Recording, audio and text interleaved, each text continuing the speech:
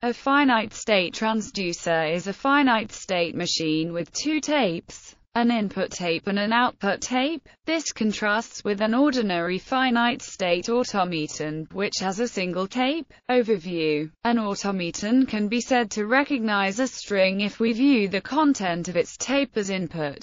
In other words, the automaton computes a function that maps strings into the set 0, 1. Alternatively, we can say that an automaton generates strings, which means viewing its tape as an output tape. On this view, the automaton generates a formal language, which is a set of strings. The two views of automata are equivalent. The function that the automaton computes is precisely the indicator function of the set of strings it generates. The class of languages generated by finite automata is known as the class of regular languages. The two tapes of a transducer are typically viewed as an input tape and an output tape. On this view, a transducer is said to transduce the contents of its input tape to its output tape, by accepting a string on its input tape and generating another string on its output tape. It may do so non-deterministically and it may produce more than one output for each input string. A transducer may also produce no output for a given input string, in which case it is said to reject the input. In general, a transducer computes a relation between two formal languages. Each string-to-string finite-state transducer relates the input alphabet sigma to the output alphabet gamma. Relations are on sigma asterisk times gamma asterisk that can be implemented as finite-state transducers are called rational relations. Rational relations that are partial functions, i.e., that relate every input string from sigma asterisk to at most one gamma asterisk, are called rational functions. Finite-state transducers are often used for phonological and morphological analysis in natural language processing research and applications. Pioneers in this field include Ronald Kaplan, Lauri Karttunen, Martin Kay and Kimmo Koskenniemi. Non-primary source needed. A common way of using transducers is in a so-called cascade, where transducers for various operations are combined into a single transducer by repeated application of the composition operator. Formal construction. Formally, a finite transducer T is a six-tuple, such that Q is a finite set, the set of states. Sigma is a finite set, called the input alphabet. Gamma is a finite set, called the output alphabet. I is a subset of Q, the set of initial states. F is a subset of Q, the set of final states, and is the transition relation. We can view as a label-directed graph, known as the transition graph of T. The set of vertices is Q, and means that there is a labeled edge going from vertex Q to vertex R. We also say that A is the input label and B the output label of that edge. Note this definition of finite transducer is also called letter transducer. Alternative definitions are possible, but can all be converted into transducers following this one. Define the extended transition relation as the smallest set such that, for all, and, whenever and then, the extended transition relation is essentially the reflexive transitive closure of the transition graph that has been augmented to take edge labels into account. The elements of an as paths. The edge labels of a path obtained by concatenating the edge labels of its constituent transitions in order. The behavior of the transducer T is the rational relation T, defined as follows. If and only if there exists and such that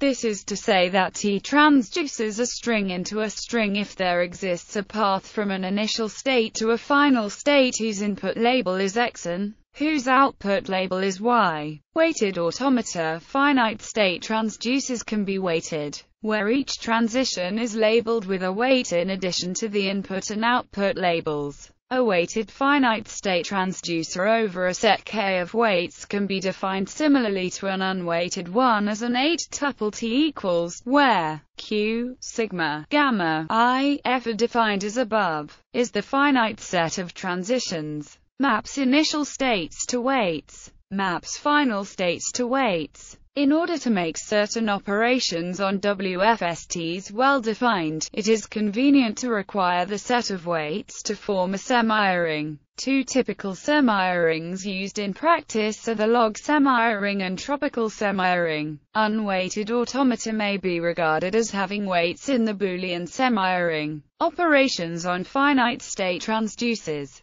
the following operations defined on finite automata also apply to finite transducers. Union. Given transducers T and S, there exists a transducer such that if and only if or concatenation. Given transducers T and S, there exists a transducer such that if and only if there exist within Kleene closure. Given a transducer T, there exists a transducer with the following properties if and then, and does not hold unless mandated by or intersection. Given transducers T and S, there exists a transducer such that if and only if an composition given a transducer T on alphabet sigma and gamma and a transducer S on alphabets gamma and delta. There exists a transducer on sigma and delta such that if and only if there exists a string such that an this operation extends to the weighted case. This definition uses the same notation used in mathematics for relation composition. However, the conventional reading for relation composition is the other way around.